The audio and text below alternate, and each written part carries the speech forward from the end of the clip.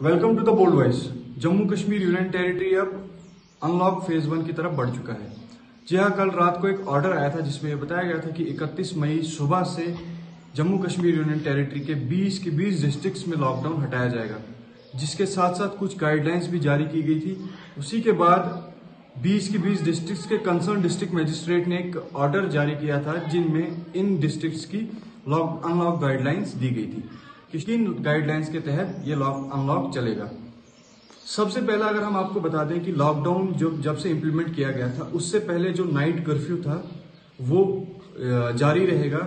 मतलब शाम रात को आठ बजे से लेकर सुबह सात बजे तक जो नाइट कर्फ्यू होता था, वो जारी रहेगा ऑल डेज़ में। मतलब मंडे से लेकर संडे तक। मतलब पूरे हफ़्ते में नाइट कर्फ्यू जारी रहेगा। उसके साथ साथ जो बाकी दिन लॉकडाउन नहीं रहेगा, लेकिन उनमें से जो लॉकडाउन से पहले वीकेंड लॉकडाउन था, या वीकेंड कर्फ्यू जिसको हम बोलते हैं वीकेंड कर्फ्यू जो था, जो फ्राइडे शाम को आठ बजे से लेके मंडे सुबह सात बजे तक होता था, वो भी जारी रहेगा, जिसमें मतलब आपको बता दें कि नाइट कर्फ्यू और वीकेंड कर्फ्यू ये कंटिन्यू रहेगा।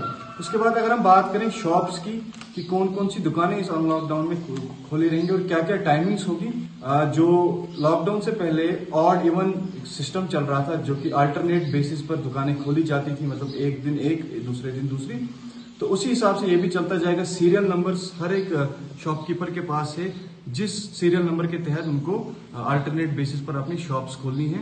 ये शॉप सुबह सात बजे से सुबह आठ बजे से लेकर शाम को सात बजे तक इनकी शॉप्स खोलने की टाइमिंग है और अल्टरनेट बेसिस पर ये शॉप्स खोलने की टाइमिंग होगी इनकी। उसके बाद अगर हम बात करें तो कुछ शॉप्स ऐसी भी हैं, या कुछ मेडिकल इमरजेंसीज के टाइम पे जो जो शॉप्स होती हैं, या जो जो स्टोर्स होते हैं, वो सब दिन ओपन रहेंगे। मतलब all days they are open जिनमें से कि medical shops clinical laboratories fruit and vendor shops आती हैं जिनमें या एग्रीकल्चर एक्टिविटीज़ जितनी भी हैं जितनी भी इमरजेंसी सर्विसेज़ जिनमें एटीएम कार्ड और कैश वैन्स होती हैं ये भी खुली रहेंगी ऑल डेज़ और इनको आ, इनके लिए ना अल्टरनेट बेसिस है ना इनके लिए वीकेंड वीकेंड लॉकडाउन है।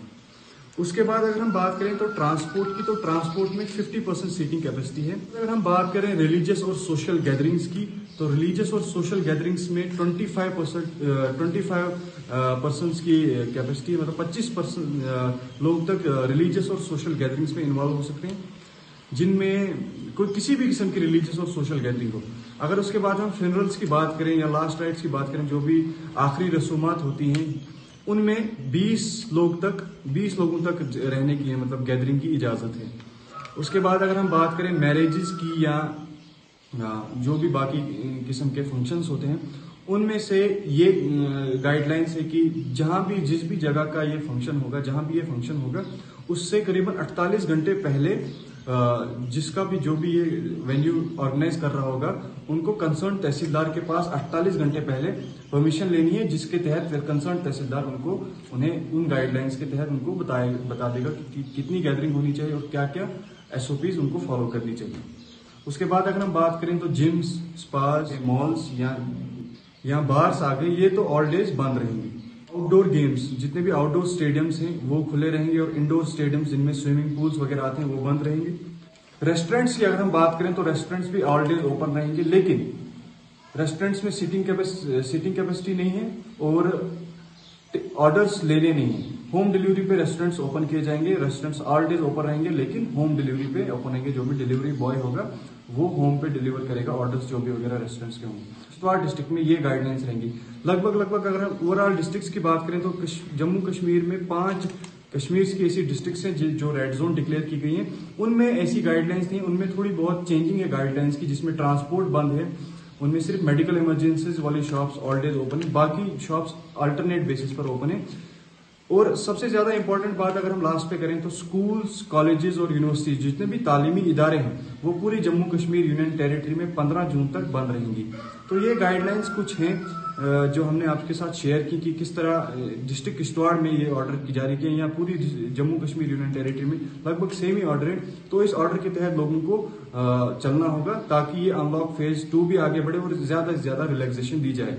हमारी लोगों से यही अपील है कि इस लॉकडाउन जो भी रहा, इसमें कोविड 19 के केसेस में थोड़ा बहुत कंट्रोल आ गया, जिसके बाद यूनियन टेरिटरी की एडमिनिस्ट्रेशन ने यह फैसला किया कि जम्मू कश्मीर में अनलॉक स्टार्ट होगा।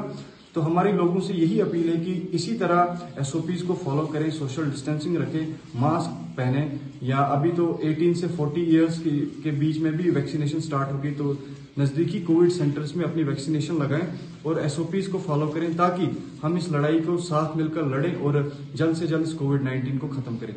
देखते रहिए बोल्ड वाइज हमारे फेसबुक पेज को लाइक करें। और अगर आपने हमारे YouTube चैनल को अभी तक सब्सक्राइब नहीं किया है तो जल्दी से सब्सक्राइब कर दीजिए। बेल आइकन ज़रूर प्रेस करें ताकि आपको हमारे वीडियो की